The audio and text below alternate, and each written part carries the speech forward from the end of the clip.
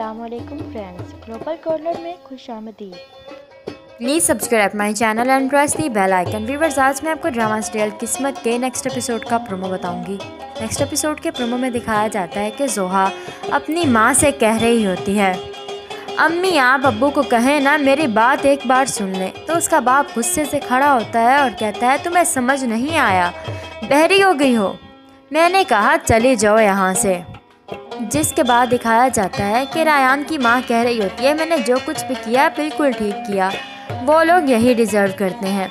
और मुझे महाम की भी कोई परवाह नहीं है। मेरा तो बस नहीं चल रहा। अगर महाम प्रेग्नेंट ना होती ना तो मैं आज अभी इसी वक्त उसे मायके भेज देती।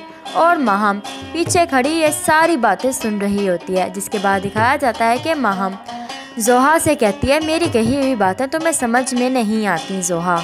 कितना समझाया था मैंने तुम्हें कि ज़िंदगी में हर चीज़ इंसान की ख्वाहिश के मुताबिक नहीं होती। कुछ चीज़ें किस्मत में लिखी हुई होती हैं और किस्मत से जंग नहीं लड़ी जाती, जिसके बाद दिखाया जाता है।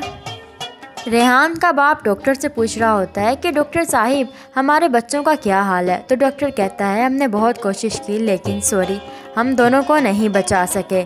ये सुनकर रेहान की माँ और बाप और महाम का बाप बुरी तरह से निढाल हो जाते हैं और रोने लग जाते हैं।